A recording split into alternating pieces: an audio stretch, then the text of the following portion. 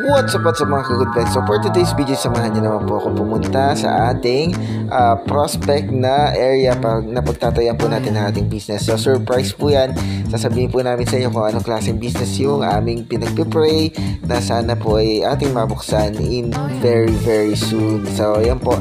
Uh, malapit po yan sa 7-Eleven. Nasa Tulaok po yan sa San Simon, sa Pampanga po sa San Simon, nasa Tulaak po yan. Malapit po yan sa 7-Eleven, sa malapit po yan 7-Eleven, McDonald's at mga university and schools. So, meron din po yan sa St. Augustine uh, colleges. So, meron pong elementary, high school, tsaka colleges po. At napakarami pong mga potential customer po na, na pinoproject po natin na maging customer po natin, na maging regular po natin. So, yan po yung mga area na ating pinuntahan at nag, nagka-canvas po tayo kung magkano yung um, rent monthly para ma-costing po natin. So, ka, meron po akong mga partner dito sa business na ito. Malapit din po yan sa Central High School po at colleges po. So, yan po.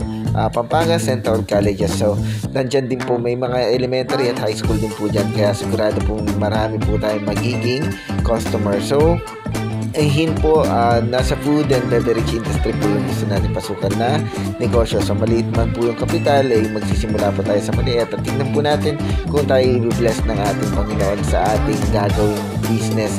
So yan po, samahan niyo po ako sa ating journey, sa ating small business venture at uh, meron man po tayong mga business na tinayo noon na hindi po nag-prosper and this, this business po is uh, one of my passion po kasi po, uh, dyan po talaga ako nagtrabaho uh, na matagal sa food and beverage industry.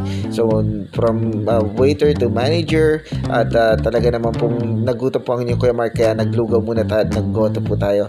Tara po at samahan niyo po kami sa aming business adventure at maraming maraming salamat po sa walang sawang panonood ng ating mga vlog at kung meron po, kung hindi pa po kayo nakafollow sa ating admin page ay follow na po kayo at subscribe po kayo sa ating YouTube channel.